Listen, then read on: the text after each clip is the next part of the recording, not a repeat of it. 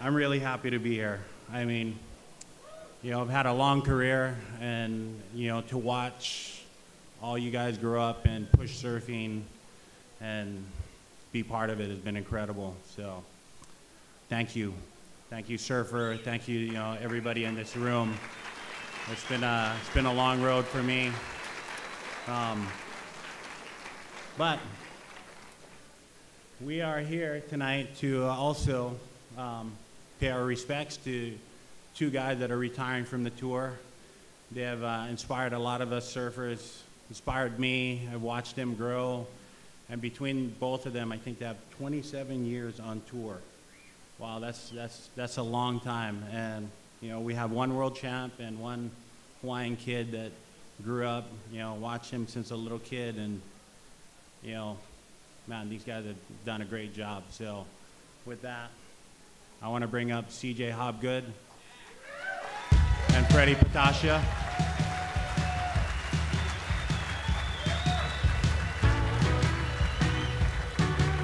Man.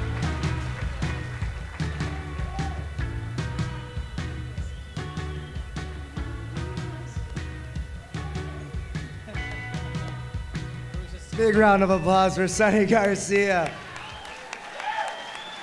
Retirement, man. I think retirement is overrated. Ad- my advice to you guys don't do it. Uh, if you guys were ever wondering why me and Freddy are so passionate, it's this guy's fault. When we were young watching this guy freak out, well, of course we had to freak out, right, Freddy? We got some good heat, some good heat. Yeah. I don't Well, know. I got a question. So, with all the years on tour, which are you guys' favorite waves? I mean, I, me I think go? I know the answer, but I thought I'd just ask anyway, right? Hey, we're, bo- we're both goofies, and we, uh, whenever it's man versus ocean, then uh, me and Freddy eyeballs light up. I don't know. I just want to say hi, everybody. You know what? My favorite wave now is Peahi, where those guys were just holy mackerel, man. Wild card next year. No way. Heck no.